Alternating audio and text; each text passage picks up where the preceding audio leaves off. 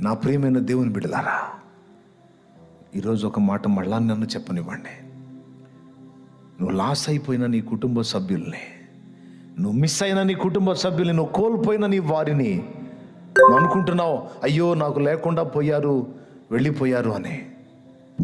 దేవుడు మాట్లాడుతున్నాడు లేదో ఒకరోజు రాబోతుంది త్వరలోనే. నేను కోల్పోయాను వారి లోకం నుండే వెళ్ళిపోయారు అని అనుకుంటున్న నీ వారిని.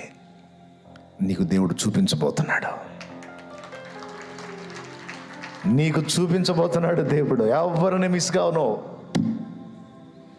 కనీసం నిన్ను ప్రేమించి నీ కోసమైనా నీ వారిని దాచిపెడతాడు ఆయన.